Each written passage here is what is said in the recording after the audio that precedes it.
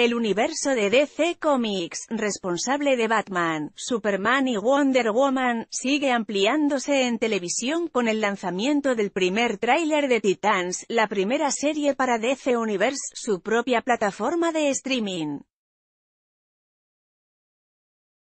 La nueva ficción se centra en el joven grupo de superhéroes encabezado por Robin y redondeado por Starfire, Raven, Beast Boy, Hawk y Dove. A diferencia de otras encarnaciones más coloridas, el avance muestra imágenes oscuras y presenta un lado violento poco explorado en esta agrupación.